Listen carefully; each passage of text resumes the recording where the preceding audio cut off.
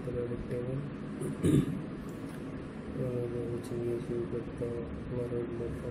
Table ये most important question है जो आपके एग्ज़ाम में इनमें से बाहर पूछने आएगा आपको एक्स्ट्रा पढ़ने की ज़रूरत नहीं पड़ेगी।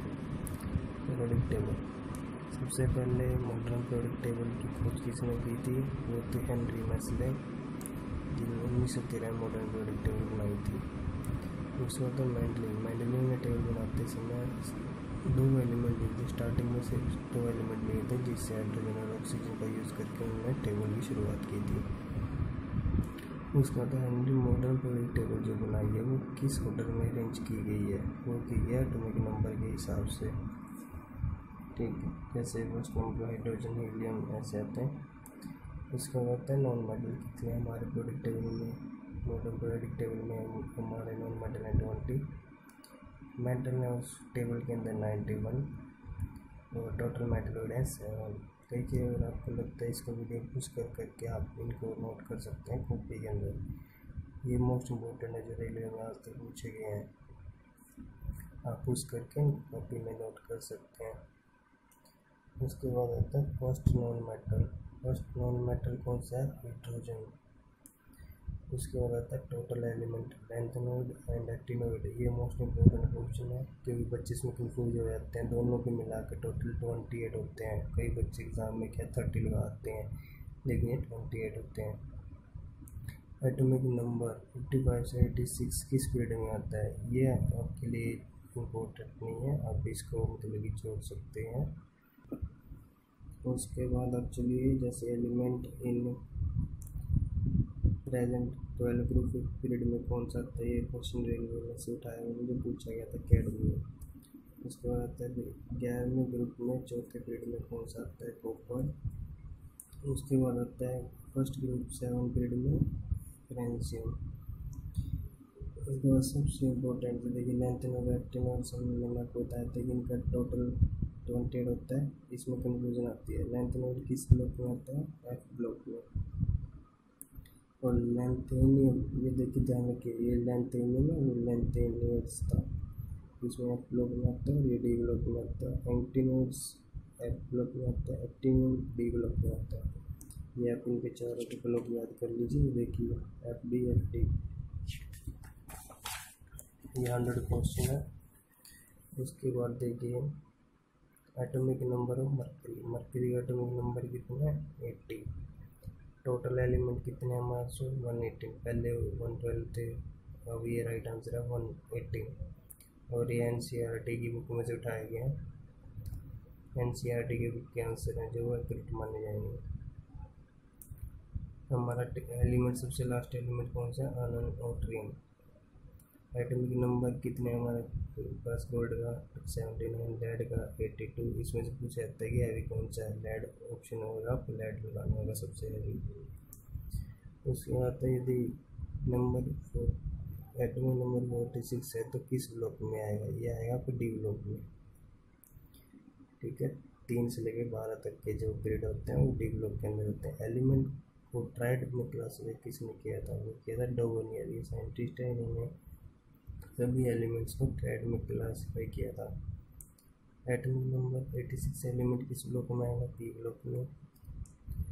लास्ट मेटल कौन सा है? टेबल के अंदर सबसे लास्ट मेटल मेटल है polonium first metal in table में फ़र्स्ट मेटल कौन सा है? बोरोन तो जो फ़र्स्ट नॉन मेटल है, वो हाइड्रोजन है।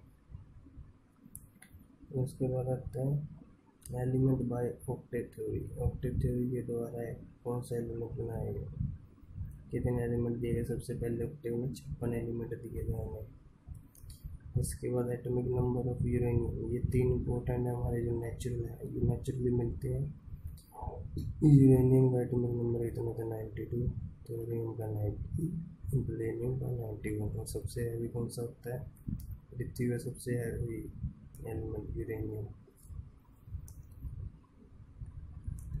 अठारहवें ग्रुप में कितने एलिमेंट होते हैं हमारे पास? सात। मॉडर्न पीरियोडिक टेबल की समझ थी एनवी मेसले ने बताई थी उन्नीस सौ तेरह में मॉडर्न टेबल में कितने ग्रुप होते हैं? टोटल अठारह।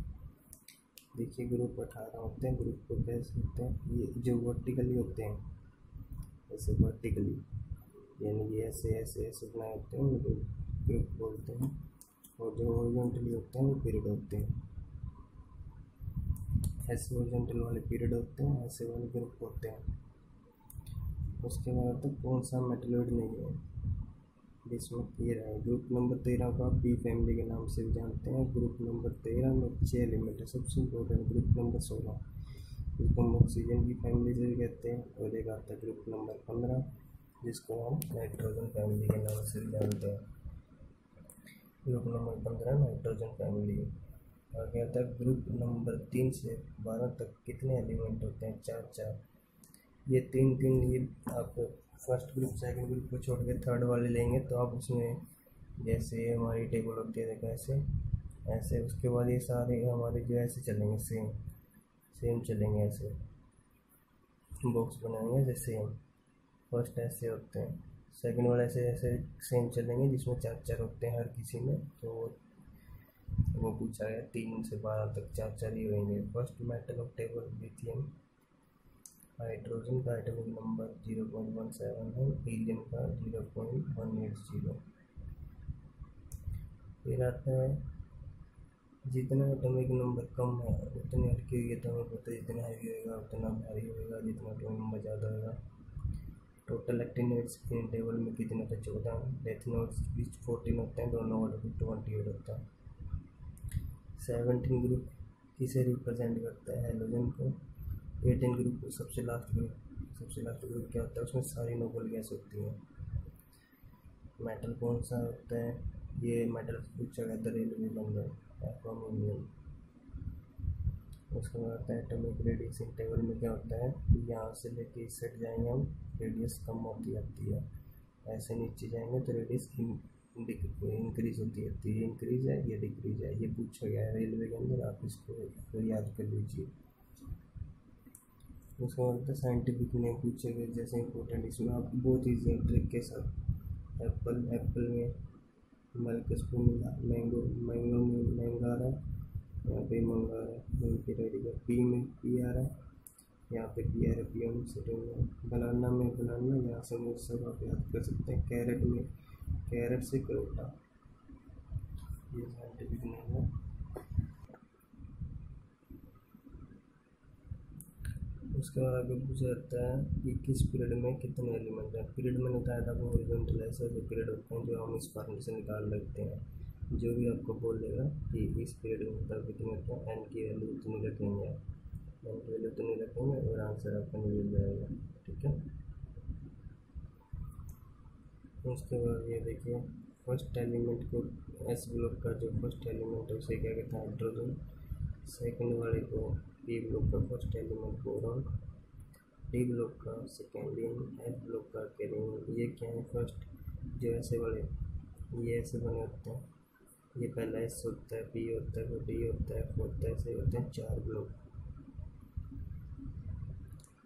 लास्ट वाला इसका रेडियम बी का ओरिजिनम डी का कैप्रीनियम एफ़ का लोरिनियम ठीक है, आप नोट करते जाना कॉपी के अंदर टोटल एलिमेंट कितने होते हैं? पी ब्लॉक के अंदर थर्टी सेवन एस ब्लॉक में thirteen D block D block ये वही है जो चार चार के होते हैं जिसके अंदर। इसी दस होते हैं, दस गुना चार, चालीस होते हैं।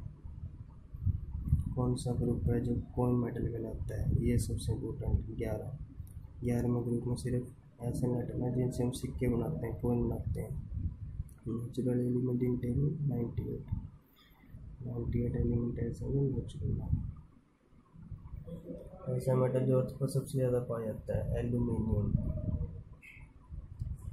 सबसे heavy natural element in table running में बताया था। ऐसा मेलन मेटल मेलन जो अर्थ पर सबसे ज़्यादा ऑक्सीजन, ये मेटल है, ये एलिमेंट है।